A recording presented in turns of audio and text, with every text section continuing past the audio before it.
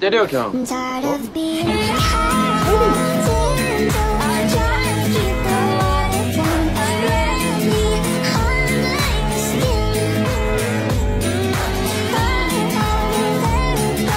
아왜 자꾸 나한테 이래라 저래라 하냐고 어? 내가 뭐 씨발 네가 그만하라고 하면 그만해야 돼? 어? 내가 뭐 씨발 딴 딸이야? 야 내가 니한테 뭐 잘못했어?